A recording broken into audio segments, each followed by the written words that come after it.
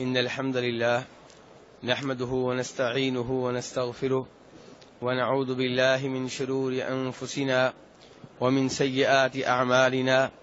من يهده الله فلا مضل له ومن يضلل فلا هادي له. أشهد أن لا إله إلا الله وحده لا شريك له وأشهد أن محمدا عبده ورسوله. أما بعد فإن خير الحديث كتاب الله وخير الهدي هدي محمد صلى الله عليه وسلم وشر الأمور محدثاتها وكل محدثة بدعة وكل بدعة ضلالة وكل ضلالة في النار. قال تعالى يا أيها الذين آمنوا كتب عليكم الصيام كما كتب على الذين من قبلكم لعلكم تتقون أياما معدودات. فمن كان منكم مريضا أو على سفر فعدة من أيام أخر. اے ایمان والو، کتب علیکم الصیام، تم پہ روزے فرض کیے گئے ہیں، جیسا کہ ان لوگوں پہ فرض کیے گئے تھے، جو تم سے پہلے تھے، کیوں فرض کیے گئے ہیں؟ فرمایا، لعلکم تتقون، تاکہ تم متقی بن جاؤ، پرہیزگار بن جاؤ گناہوں سے دور رہنے کی تمہیں عادت پڑ جائے، جہنم کی آگ سے بچ جاؤ۔ ایام معدودات، جن دنوں کے رودے فرض ہیں، وہ چند ایک دن ہیں، تھوڑے سے ہیں، کچھ زیادہ نہیں ہیں۔ اور جو کوئی تم میں سے ان دنوں میں بیمار ہو یا حالت سفر میں ہو، تو وہ اور دنوں سے ان روزوں کی گنتی پوری کر لے۔ تو میرے بھائیوں ان آیات سے معلوم ہوا کہ رمضان کے روزے فرد ہیں، ضروری ہیں، واجب ہیں، بلکہ اسلام کے پانچ ارکان میں سے ایک رکن کا نام رمضان کے روزے ہیں۔ تو یہ روزے رکھنا ضروری ہیں۔ ہر اس آدمی کے اوپر فرد ہیں جو مسلمان ہو، بالغ ہو، صاحب عقل ہو، اپنے شہر میں، اپنی رہائش گاہ میں موجود ہو اور تندرست ہو۔ اگر کوئی آدمی مسلمان نہیں ہے، تو وہ روزے رکھتا بھی رہے تو اس کو روزے رکھنے کا کوئی فائدہ نہیں ہے۔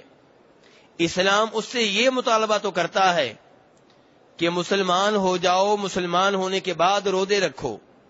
مسلمان ہو جاؤ، مسلمان ہونے کے بعد نماز پڑھو۔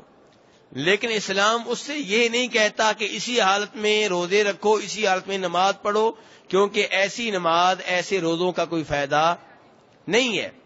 آپ دیکھتے ہیں کہ اہل مکہ بیت اللہ کے متولی تھے۔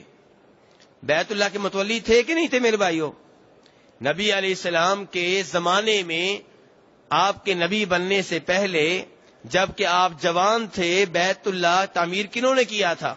مکہ والوں نے کیا تھا؟ اور آپس میں عید کیا تھا کہ اس کے اوپر صرف حلال کی کمائی لگائیں گے۔ نبی علیہ السلام بھی اس نیک عمل میں شریک ہوئے۔ تو کہنے کا مطلب یہ ہے کہ اہل مکہ نے بیت اللہ تعمیر کیا۔ وہی اس کے متولی تھے۔ حج وہ کرتے تھے۔ مینا مزلفہ میں وہ جاتے تھے۔ حاجیوں کی خدمت وہ کیا کرتے تھے۔ تلبیہ جب پڑھتے تھے، اللہ کا نام لیتے تھے۔ یہ بھی مانتے تھے کہ اصل اللہ ہے۔ اور یہ لات عزا حبل یہ اصل نہیں ہے، بلکہ ان کے ذریعے اللہ ملتا ہے۔ ان سے رابطہ کرتے ہیں تو یہ اللہ سے لے کر دیتے ہیں۔ یہ اللہ اور اللہ کی مخلوق کے درمیان سیڑھی ہیں۔ اللہ تک سیڑھی کے بغیر کیسے پہنچا جا سکتا ہے؟ جیسے آج کل کے لوگ کہتے ہیں کہ اگر آپ نے کسی وزیر اعظم کے پاس جانا ہو، بادشاہ کے پاس جانا ہو ڈائریکٹ نہیں پہنچ سکتے۔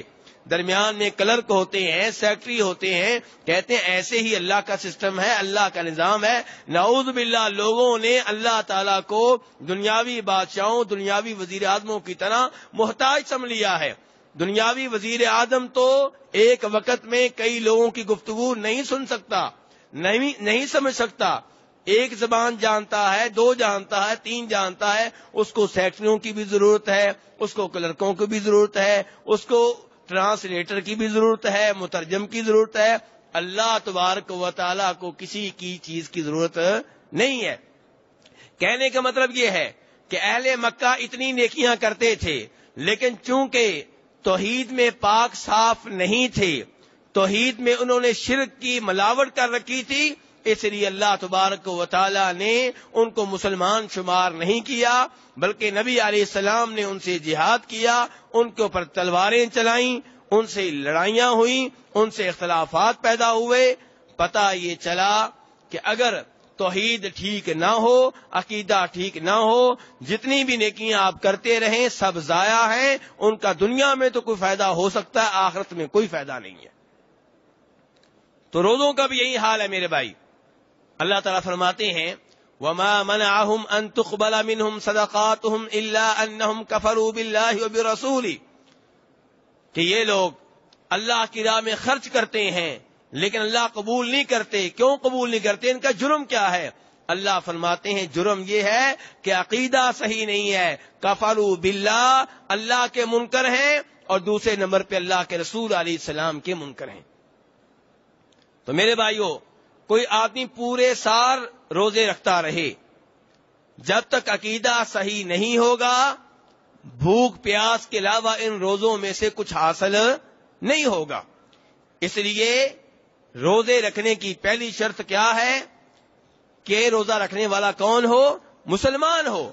صحیح معنوں میں مسلمان ہو، صرف کلمہ نہ پڑھتا ہو، صحیح معنوں میں مسلمان ہو۔ ورنہ اللہ تعالی نے فرمایا ہے قرآن پاک میں وما يؤمن اخترهم بالله الا وهم مشركون۔ سورہ یوسف میں تیرویں اسپاری میں اللہ فرماتے ہیں کہ وہ لوگ جو اللہ کے اوپر ایمان لانے کا دعویٰ کرتے ہیں، ان میں سے اکثر شرک کر رہے ہوتے ہیں۔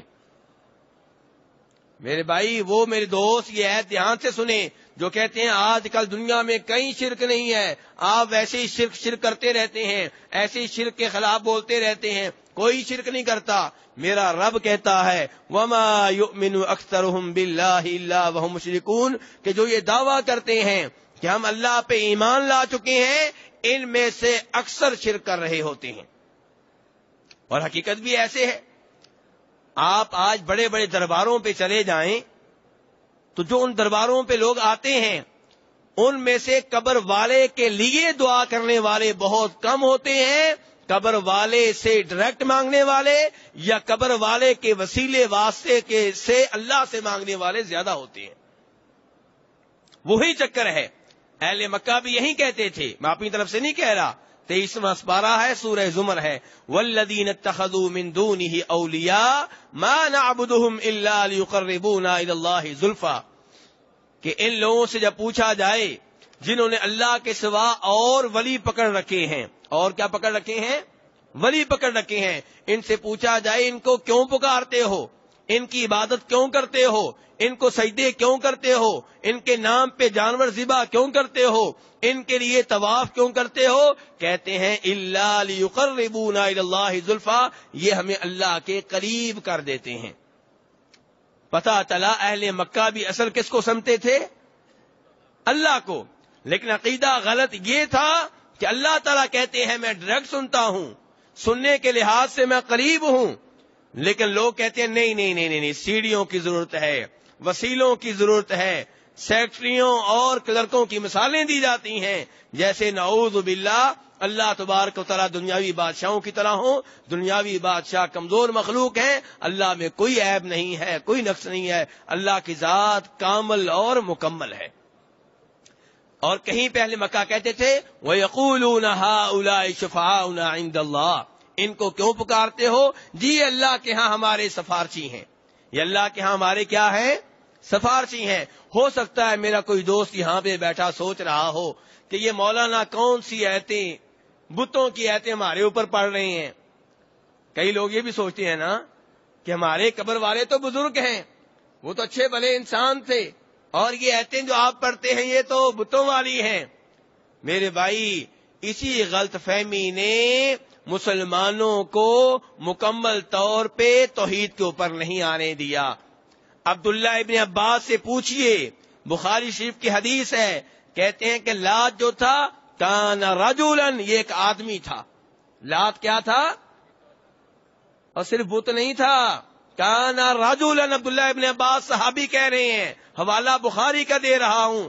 کہہ رہے ہیں، لات ایک آدمی تھا اور یہ بزرگ تھا، حاجیوں کی خدمت کیا کرتا تھا، انہیں ستو پلایا کرتا تھا۔ تو میرے بھائیوں وہ لوگ جب ان کے ایسے بزرگ فوت ہو جاتے، ان کے نام پہ یادگار بنا لیتے۔ تو مقصود کیا ہوتا تھا؟ یادگار خود مقصود نہیں ہوتی تھی۔ یادگار کے پیچھے شخصیت جو تھی، وہ ان کے ذہنوں میں موجود ہوتی تھی۔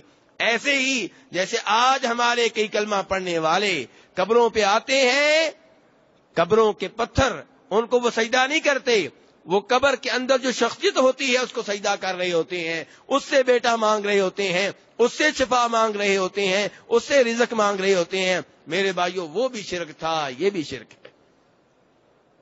تو روزہ اسی کا قبول ہوگا، جو توحید کے اوپر ہوگا، جو ایمان کے اوپر ہوگا جو اسلام کے اوپر ہوگا، اسی لیے نبی علیہ السلام بھی فرماتے ہیں، من صام رمضان ایمانا و احتسابا غفر له ما تقدم من ذنبی.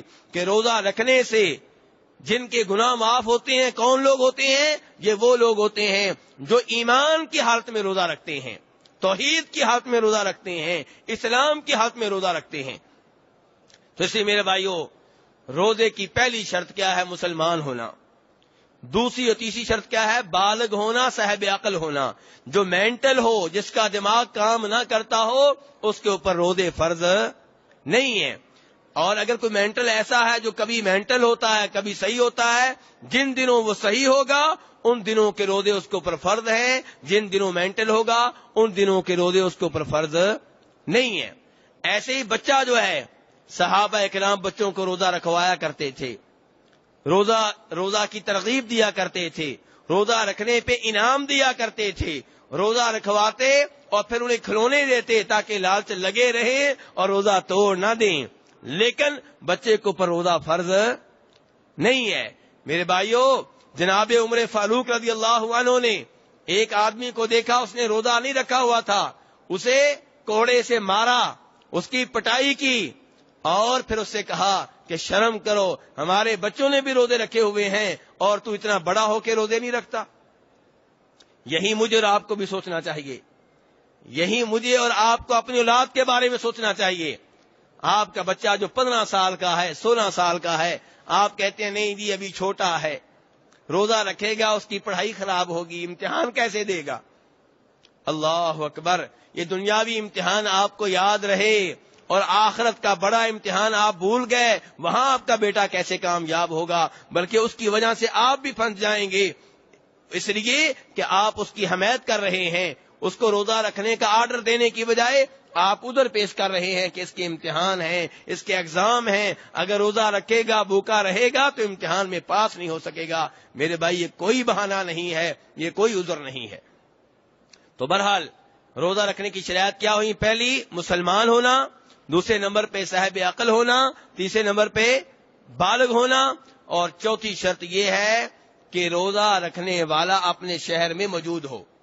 اگر کوئی حالت سفر میں ہے تو اس کے اوپر روزہ فرد نہیں ہے، البتہ جتنے روزے سفر کی وجہ سے چھوڑے گا، اتنے روزے اسے بعد میں رکھنا ہوں گے، وہ اس کے ذمے ہوں گے۔ ایسے کوئی مریض ہے، بیمار ہے، تو اس کو بھی شریعت نے یہ رعایت دی ہے۔ کہ وہ بیماری کے دنوں میں روزے چھوڑ دے، جب ٹھیک ہو جائے، تندرست ہو جائے، تو بعد میں اتنے روزے رکھ لے جتنے رمضان میں روزے اس نے چھوڑے تھے۔ اللہ تعالیٰ فرماتے ہیں، ومن کان مریضا او علی سفر فعدت من ایام اخر جو مریض ہو، یا حالت سفر میں ہو، تو وہ دیگر دنوں سے روزوں کی گنتی پوری کر لے۔ میرے بھائیوں روزوں کا موضوع ایک لمبا موضوع ہے۔ اس کے اوپر انشاءاللہ گاہے بگاہے گفتگو ہوتی رہے گی